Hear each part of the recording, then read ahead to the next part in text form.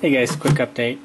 Uh, I just printed this Christmas ornament on the Tiko, and for the most part, it came out good. Except you can kind of see that for whatever the reason, I'm still having a layer shifting issue right here and right here. But other than that, it looks pretty good even the raft looks alright.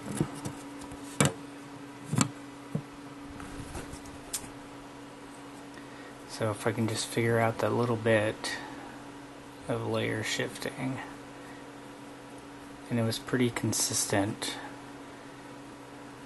from what you could see here. I think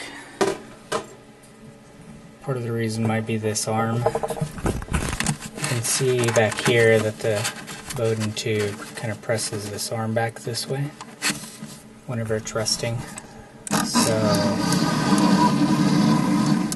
I'm assuming that the arms, or one of the arms is bowed again. They had sent me a bunch of replacement arms. So but yeah, if you look, you can see that that arm is, in fact, bowed a little. I don't know how well it shows up on camera. But um, even with the bowed arm, it's still giving out decent results. So uh, I'll keep playing with it. I may eventually swap these arms out for some carbon fiber ones, possibly. Uh, I, gotta, I gotta look into that for the.